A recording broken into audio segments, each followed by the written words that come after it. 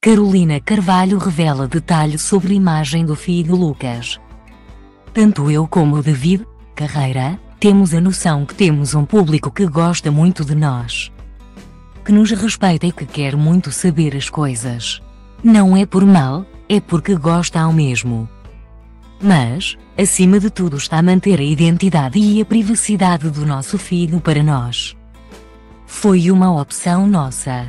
Mas obviamente gostamos de ir tranquilizando as pessoas, dizendo que está a ser uma fase muito feliz.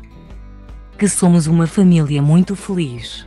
Portanto, vamos partilhando aquilo que achamos necessário. Explicou em entrevista a Cicaras. A atriz comentou também a escolha do nome do bebê e admite que foi complicado chegar a um consenso.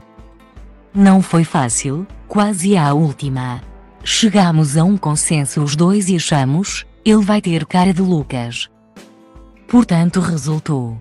E agora, olhando para ele, acho mesmo que tem, explicou.